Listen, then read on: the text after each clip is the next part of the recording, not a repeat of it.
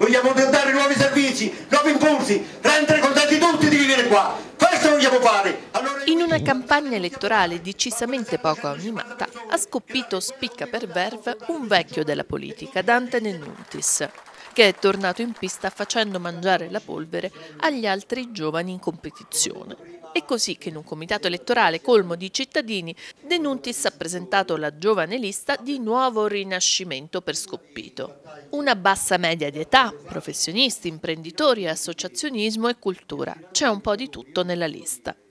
Grande partecipazione perché la gente è delusa dell'esperienza in corso e in tanti hanno chiesto a me, in virtù dei risultati che ho ottenuto nelle precedenti amministrazioni, di mettermi in gioco. L'ho fatto con una squadra giovane, competente, di grandi professionalità, molto motivata e sono convinto che faremo un figurone e daremo un'amministrazione efficiente, efficace e capace.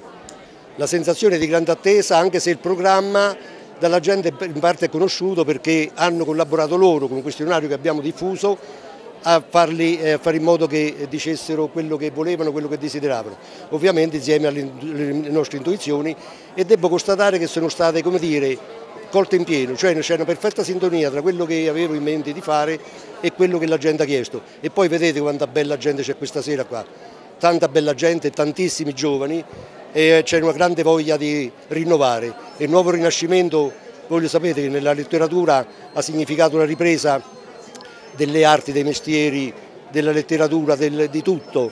Iniziare, perché è stata ferma, la ricostruzione e velocizzarla, ridare impulso all'edilizia residenziale che è stato sempre il nostro fiore all'occhiello, un nostro volano di, di ripresa e di sviluppo e a tutti quanti e soprattutto ai nuovi dare servizi di qualità eccellenti che li facciano sentire soddisfatti di essere venuti a abitare qui e magari attraggono nuovi, nuovi cittadini a venire a abitare a Scoppito.